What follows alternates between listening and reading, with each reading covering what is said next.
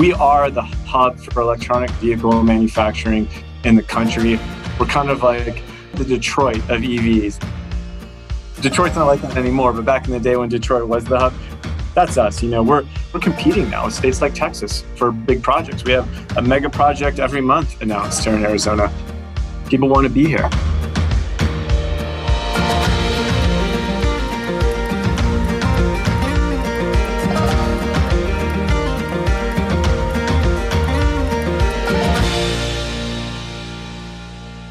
Welcome to Consensus in Conversation, a new podcast from Consensus Digital Media.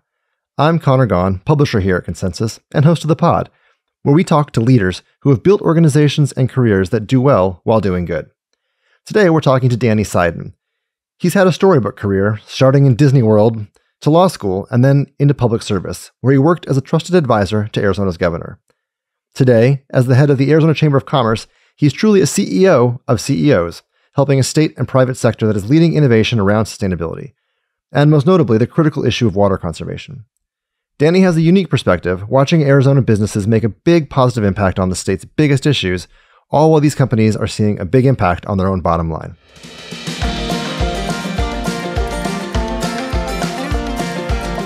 Hey, Danny, how's it going? Hey, Connor, it's going well. How are you doing? I'm well, thanks. You see, you are the CEO of an organization that represents businesses and CEOs, mm-hmm. and would love to hear more about the chamber, the mission, the members you represent. Give us kind of the, a sneak peek at, at the chamber's business.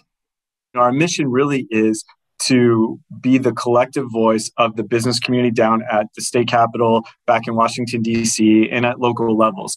So, um, you know, just the history of chambers and commerce is that businesses came together and realized they had a big problem they had to deal with, and they were better suited to do it as a broad coalition as opposed to by themselves.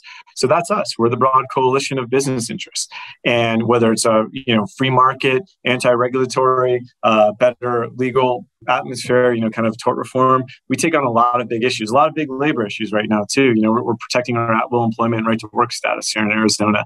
So um, those are a lot of what we work on what matters to our employers, it, it runs the gambit uh, from tax reform, keeping us as the most globally competitive, making us the number one state in the country to start a business, relocate your business, or grow a business. And I think we've done such a good job at that here in Arizona. We have a great business minded governor with Governor Doug Ducey, who came from the business world, who's CEO of Cold Stone Creamery. So he gets it. He's uh, one of us. He's an ally when it comes to advertising how great Arizona is. And we're, we're competing now with states like Texas for big projects. We have a mega project every month announced here in Arizona. People want to be here. I tend to see the private sector and, and corporate America as a huge catalyst for making good change and using innovation to make a better world, a better country, better better communities. Arizona seems to be ground zero for growth, but tell us a little bit about that. Yeah. So, politically speaking, in the political atmosphere, the business community finds itself in kind of a new territory. You know, we used to have a strong base over in the Republican Party, and the Democrats usually favored raising taxes and regulations. Now, what's happened, and we're a blissfully nonpartisan organization, I'd say, the extremes on both sides are really anti business. And so we have to carve out that middle for us and make sure that people understand like hey when you see the fact that i'm sitting right now in maricopa county the fastest growing county in the country that's because of the business climate we've created. That's because our employers are here. You know it's because intel is investing another 20 billion in new fabs here. Tsmc taiwan semiconductor they're doing 12 billion. I'm sure it's going to be more. That's a massive site. There's more cranes over their site right now than i've ever seen in my life. We are growing so fast because of our total environment. We're not a state that writes big checks in the terms of incentives. It's just creating the environment for companies to come in and succeed. And it's worked. And I, I, think that, again, we have a unique brand as Arizona businesses. We're known for being uh, open to opportunity for all. 73% of our state is from somewhere else. And what that lends itself to is this state becoming really like a meritocracy that you can come from anywhere doesn't matter where you went to school or who your parents are you can come here succeed and have a great future there's a couple examples that have really jumped out to me the last few months thinking about Arizona companies or, or innovation in Arizona, in particular, groups that are really doing incredible stuff towards a more sustainable future. Obviously, the EV sector is booming in terms of customer demand and manufacturing growth across the country. Would love to hear a little bit more about the growth and opportunity that Arizona is showing in the EV space. So Nikola is a great example. We just toward the opening of their assembly line, and they are selling and putting these electronic semi trucks out. And it's one of those things, again, that sounds science fiction until you go sit in one and ride and realize, A, it sounds like a golf cart, but it moves like a semi and it's fast, it has pickup, it's great for the environment. And yeah, it's made right here in Arizona. When they're looking at where they wanted to go, they saw the work that we were doing with disruptive technologies. We really got our foot in the door with autonomous vehicles and they saw this as a friendly regulatory environment for things that are new we have uh, battery manufacturers coming because when you have the manufacturers, the supply chain wants to be nearby. So we're building out that whole ecosystem of electronic vehicles. We are the hub for electronic vehicle manufacturing in the country. We're kind of like the Detroit of EVs. Detroit's not like that anymore, but back in the day when Detroit was the hub, that's us. You know, we're we're we're just crushing it in this area. Just advanced tech manufacturing has found a nice niche in Arizona, and we're going to continue to expand upon that. Beyond the EV ecosystem finding a home in Arizona, I've followed some of the cool sustainability initiatives around water at Intel. You actually worked there, right? Yeah. So, what can you tell us about the issue in the state and how the company is addressing it? Intel, great chamber member. You know, I always have to disclose I'm a former employee of Intel in their global public affairs department. And you talked about water, so I'll just start there. Intel came in with the goal of being water neutral, I believe, by 2030. They're beating that goal. They're going to be water positive by 2030. And what that means is they're treating uh, wastewater at their facility, um, which they built and gave back to the city they're at now. It's it's fantastic to see that. And it took a lot to get to that 100% water neutral and eventually to water positivity. They realized that you can only do so much in a self-contained manufacturing hub. So they went out to their neighboring communities, some neighboring farms. Is a really good example. There was a high water crop farm down in the Verde Valley, and Intel went in and offered to help them switch from their crop to hops and hops use way less water. You don't have to do flood irrigation. They make that switch, and now Arizona has its first ever Arizona-based hops, and we we have kind of what we call the Intel beer. But they really are leaders. Uh, you could give them the Corporate Citizen of the Year award every year if you wanted. They just they care about what the neighbors think. They care about their footprint. This is not because the state or federal government forces them to do it. They are doing this on their own, exercising their own leadership. And it's the way the market is right now. The more and more you look at if you're a manufacturer like Apple or Microsoft, you're starting to require your downstream to be produced cleanly. So the market is setting these uh, requirements, not anybody else. Awesome. Arizona based hops. I love it. You have some Arizona beer next time you're here. Ah, you beat me to my next question. So we actually produced a video series called Made in America, Glass Half Full. Little plug there. You can check it out on youtube.com slash consensus digital media. But we'll also add it to the show notes. Um, we recently filmed this episode at Four Peaks Brewing in Phoenix. Four Peaks is a great story. And all the cool sustainability initiatives they've got going on there. So I'm, I'm curious, what's your favorite local beer?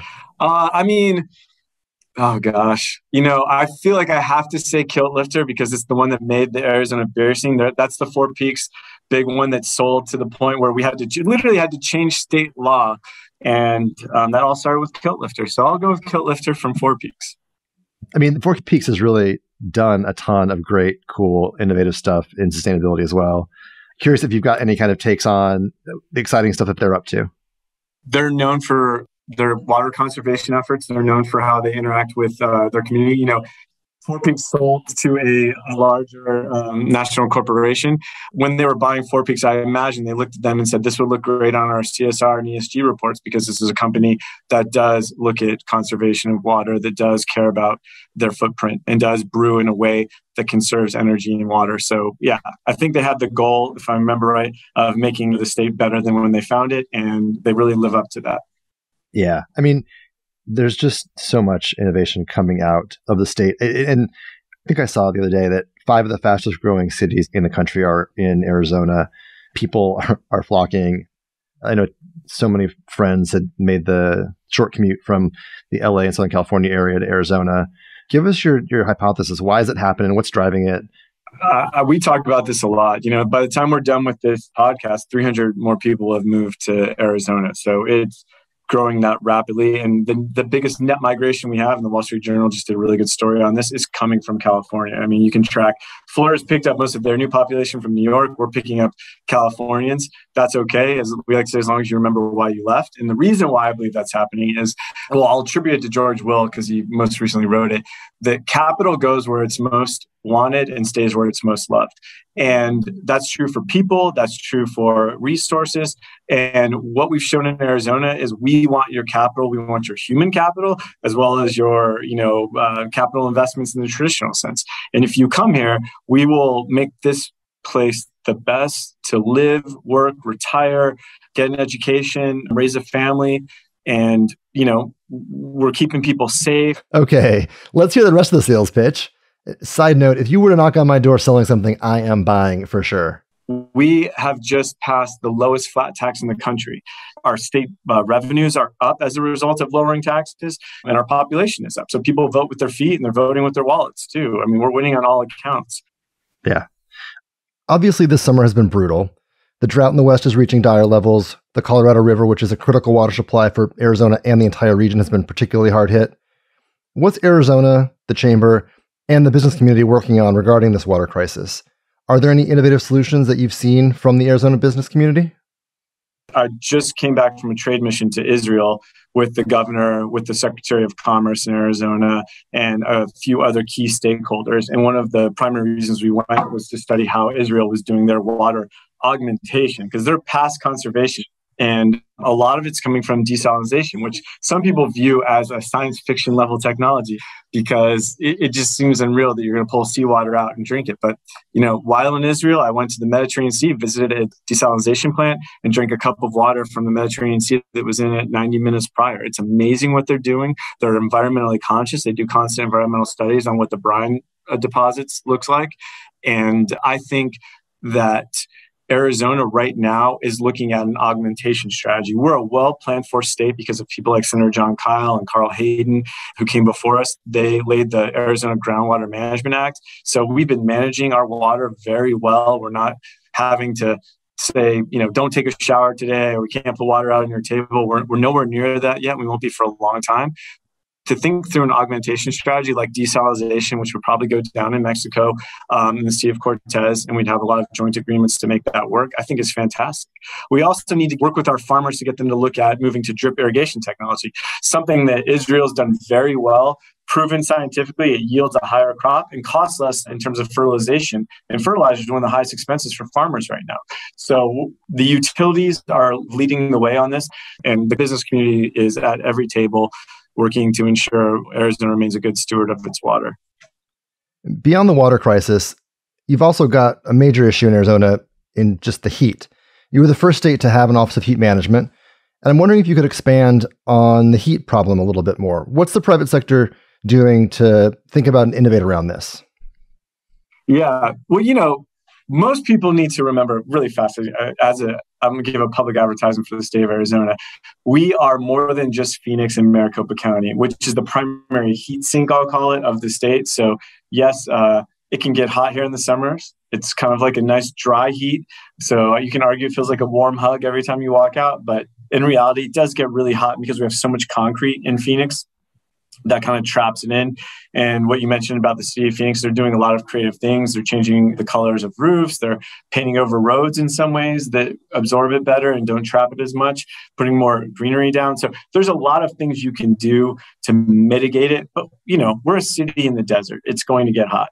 We have so many different climates in Arizona. Here in Flagstaff, it is always 20 plus degrees cooler. You've got mountains, you've got green forests. It's one of the reasons I love the state so much is the geographical diversity that we have. But for those of us who have to stay in the heat, every one of my large businesses that I've talked to recently are putting solar shades on all of their parking lots. I was just at uh, Honeywell, and one of their first things on their agenda is to cover their parking lot in solar panels, which you know um, helps with heat in cars and then also builds up solar energy for the grid. So it's a it's a win-win on that. And you're seeing that in almost every parking lot in Arizona now, more and more solar shade coming in. So there's clearly a ton going on within the Arizona Chamber of Commerce among your members. And there's also a lot of talk these days around ESG. It's a really hot subject, uh, as is clean technology. It's one of the hottest places for venture capital to go. When you think about the trends in financial and capital markets, how do you see all this playing out, specifically in relation to what you've got going on in Arizona? From what I've seen, the ESG savvy companies, especially those mid level suppliers, they're more likely to win an RFP at a larger company. So, really, it's a benefit not only to the environment and outside world, but it also benefits your bottom line because you're more likely to get picked up by an Intel or an APS if you're a socially responsible company. Now, you said it was hot, and that's true. What we are starting to see at the chamber is this push by some elected officials to come after ESG now, which is you know kind of a unique, and we could do a whole separate podcast on this, where they want to try and say that it's some kind of antitrust violation or some sort of weird coercion. And we'll maintain our position that businesses have the private right of contracting, and we'll fight for that that right for them. And if the market chooses to value ESG right now, that's what the market is doing. So attempting to kind of regulate the other way, which is the irony, would be really a mistake. A big theme at Consensus is getting all the players around the table. And some of the major stakeholders in Arizona are the Native American communities. They're a critical part of the policymaking scene and the business scene. What are some of the ways that they're leading when it comes to sustainability and innovation? So, our tribal reservations and our tribal governments have traditionally been good stewards of the resources they have. And at the moment, there's some tribal governments that have access to a lot of water they're at the table talking about, yeah, if you'd like to use our water for your plant, tell us what's your plan? How do you clean it? How do you return it? They find themselves in the middle of a lot of very important discussions around economic development right now and the role that they can play. And I think that's ultimately a good thing that you have someone who cares that much about environmental impact and um, conservation at those tables. I think you probably have a really unique job in that you've got companies and partners and stakeholders that come with lots of perspectives, folks from both parties, folks from a variety of opinions on hot button topics. How do you navigate that? Find consensus among members. Yeah, that's that. That's my job. I mean, that's that, that's the daily battle and the daily challenge, and it's it's an exciting one and one I welcome. You know, we also have on our board the university presidents as well. So um, they're a very important stakeholder. They play a big role, by the way, in a lot of sustainability projects, a lot of sustainability planning, um, water planning. ASU has a, a center, you know, the Kyl Center for Water, dedicated to this topic um, as is. So they're a great partner to have too. But you know they don't always get along with people in the legislature or the business community and vice versa. And every day it's a new challenge and how do we get them to focus on that that thing that moves us all together. And that's really the best advice i've ever been able to give when, when dealing with building a broad coalition. There is always a point we can rally around. And instead of bickering over the 20% we disagree on let's find that 80% issue and you know do an education effort around that. Could you give us a couple of examples? We all care about power in Arizona. We want to make sure we have power into the future. And, you know, we need to discuss how we're going to pay for the power that we want here. But getting everyone to support reliability and the need to recoup capital investments from major utilities, that's a universal agreement. We can talk, we can agree on that, we can move on. When it comes to labor, um, labor is an issue, by the way. With every company you talk to right now, they have a labor shortage just about. And our unemployment rate is 3.2%. The, if you look at the participation rate, it's around the 63, 62 percentile. So it's saying there's, you know, around 63 people for every 100 jobs right now. That makes the labor market really competitive. And that's why we will do everything we can to make it more beneficial to be an employee in Arizona. So, you know, a, a lot of that is is the stuff we all unite around. Everyone wants to talk about power and water. Those are all big issues we can rally around. I'll, I'll go back to ESG. This is probably the perfect example. ESG there's usually a bill or two in every state legislature right now that wants to punish banks that do lending based on ESG. And you know, we've been able to shut a lot of that down because of the broader principle of private right of contracting. You should be able to choose who you enter into a contract with and why. What we have to watch for is this notion of whoever is in charge is right. It's about the principle, and the principle for us is private right of contracting and the free market. So that's the stuff that's exciting to get out of bed and go to work every day to protect too.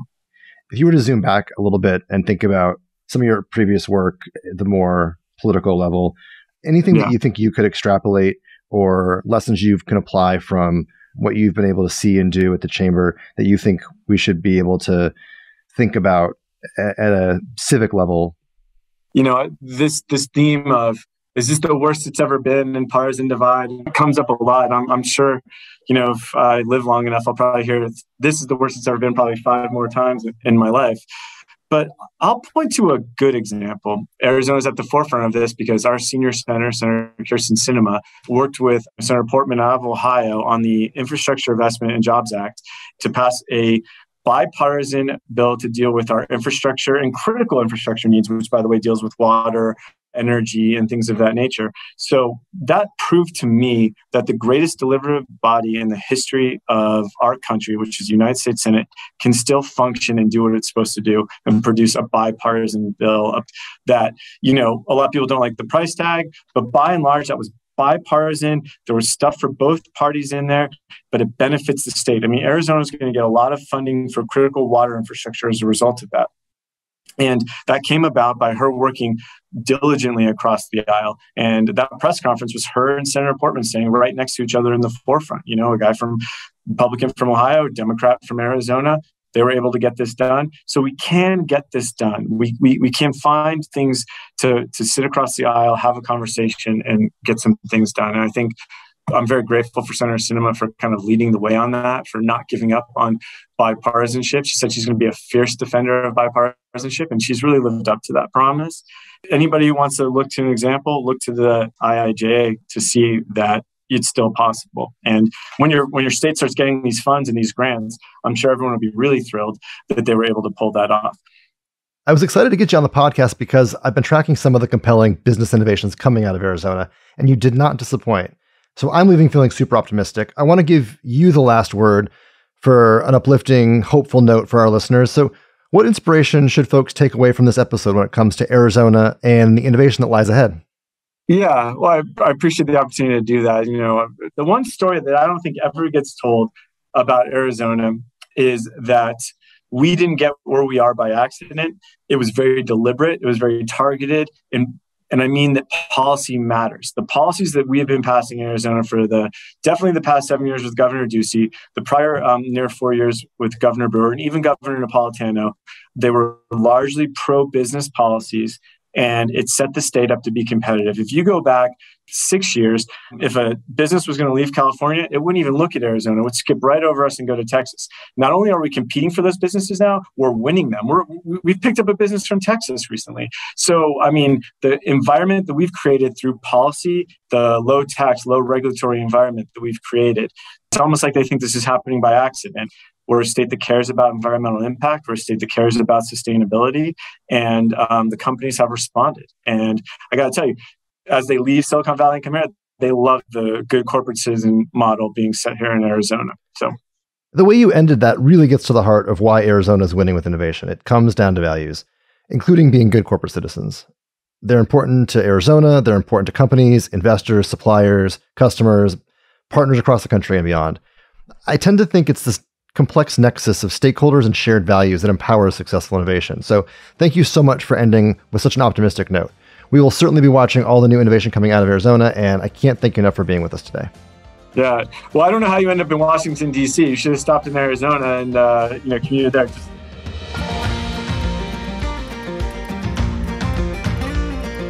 Big shout out to Danny Seiden for this inspiring conversation. Consensus in Conversation is hosted by me, Connor Gaughan. This episode was produced by our very own Will Gatchell and Chandler Bramstead. Executive produced by me with editing by Reasonable Volume. Special thanks to Consensus Creative Director Kate Tucker. See you next week, and don't forget to rate us and subscribe on your favorite podcast platform.